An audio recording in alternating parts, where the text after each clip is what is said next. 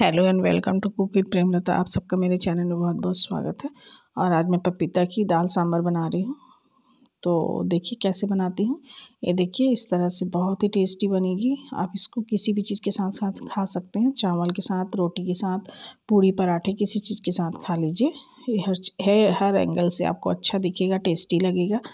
और देखने में भी बहुत ट्रम्पटिंग लग रहा है, बहुत ही टेस्टी लग रहा है। और खाने में तो लाजवाब है। एक बार ट्राई करिए, बनता है ट्राई बनता है। आप और बनाइए, खाइए और देखिए मैं रेसिपी कैसे बनाती हूँ। और अगर आप मेरे चैनल पर नया हैं तो प्लीज़ सब्सक्राइब ज़रूर करिएगा शेयर करिएगा कमेंट करिएगा। मेरे नए चैनल को भी सब्सक्राइब शेयर करिएगा कमेंट करिएगा। तो देखिए ये बनता कैसे है। तो मैंने बनाने के लिए क्या क्या यूज़ किया है। तो पहले मैंने कुकर में ही इसको भी बनाया है। तो ये देखिए कुकर को मैं उसमें दो तीन चम्मच तेल डाला है, उसमें जीरा, अजवाइन दोनों डाले हैं।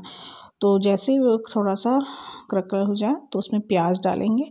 तो प्याज अपने हिसाब से आप किस स्लाइस में काटेंगे, आप महीन भी कर सकते हैं लंबा लंबा भी कर सकते हैं। तो इस तरह से थोड़ा सा अच्छा से भून जाएगा। तो आँच अपने मीडियम हाई में रखिएगा और उसके बाद उसको अच्छी तरह से कुक करना है। और पपीता को मैंने एक गोटा पपीता है आधा किलो का है तो आपको कितना बड़ा चाहिए, कितना नहीं चाहिए, वो अपने हिसाब से आप कर लीजिएगा।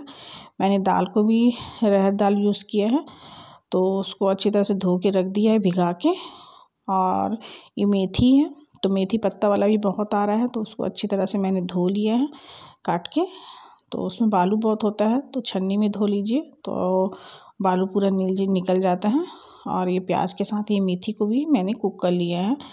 तो आपके पास अगर मेथी है तो ठीक है, नहीं तो स्किप कर दीजिए, कोई दिक्कत नहीं है। बाद में लास्ट में जब सब्ज़ी बन जाएगा तो आप कस्तूरी मेथी डाल दीजिएगा। तो दोनों में से एक मेथी ज़रूर डालिएगा, ठंड में अच्छा रहता है।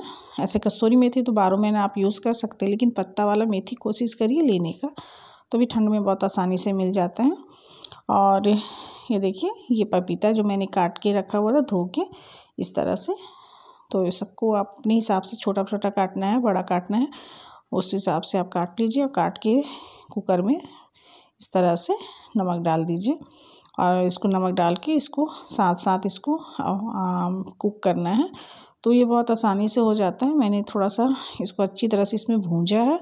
और भूंजने के नमक डाल के ही भूंज दिया है ताकि अच्छी तरह से कुक हो जाए और इसका पानी आसानी से निकल जाए। देखिए कितनी आसानी तरह, अच्छी तरह से आसानी से ही पक रहा है। तो बस इसको नमक डाल के इसको अच्छी तरह से मुझे ऊपर नीचे करके खाली हिलाते रहना है। थोड़ा देर खुला में ही पकाना है। जब ये अच्छी तरह से पक जाए तो लास्ट में मैं ढक्कन लगाऊँगी। तो ढक्कन लगाने के बाद दो सीटी ही इसको देना है, ज़्यादा देना नहीं है। और टमाटर मैंने देखिए, दो तीन टमाटर लिया है। बड़ा टमाटर है तो दो काफ़ी है छोटा छोटा है तो तीन टमाटर कर लीजिएगा। और ये अदरक लहसुन मिर्च का पेस्ट है, साथ में ही डाल रही हूँ। और आपको कि तीखा कितना रखना है, नहीं रखना है, वो आपकी मर्ज़ी है। और आप चाहे तो अदरक, लहसुन मिर्च का जो पेस्ट है, उसके साथ साथ आप लाल मिर्च भी पाउडर डाल सकते हैं। आपको तीखा अगर ज़्यादा पसंद है तो। तो इस तरह से इसको, अच्छी तरह से इसको मिक्स करना है। टमाटर के साथ ही इसको भूंजिएगा। ये बहुत अच्छा टेस्ट देता है। आप चाहे तो टमाटर का प्यूरी भी बना सकते हैं। मैंने टमाटर को काट के डाला है इसमें। और ये आसानी से पक जाता है। इसको थोड़ा देर नमक तो मैंने डाल ही दिया है तो साथ ही में ये आसानी से पक जाएगा। बस इसको थोड़ा देर खुला में ही इसको अच्छे से पकाइएगा और मसाले अपने हिसाब से आपको डालने हैं। आपको क्या क्या मसाले पसंद हैं? सांभर मसाला भी आप डाल सकते हैं, गर्म मसाला भी आप डाल सकते हैं मैंने सब मसाले डाले एक आधा आधा चम्मच करके सब मसाले डाल के इसको अच्छी तरह से मिक्स कर दिया और हल्दी भी डाल दिया आधा चम्मच। तो इसको अच्छी तरह से इसको मिक्स कर देना है, मसाले अच्छी तरह से सब में मिक्स हो जाने चाहिए। और जब मसाले मिक्स हो जाएँ, अच्छी तरह से कुक हो जाए तो इसमें पानी अपने हिसाब से आप डाल दीजिए। दाल भी मुझे जो मैंने धो के रख दिया है तो दाल भी मैं साथ में डाल के इसको मिक्स कर दूँगी और पानी डाल दूँगी। और ये देखिए कितना अच्छा टेस्ट तो इसका अच्छा ही है। और कलर खुशबू बहुत अच्छी आ रही है।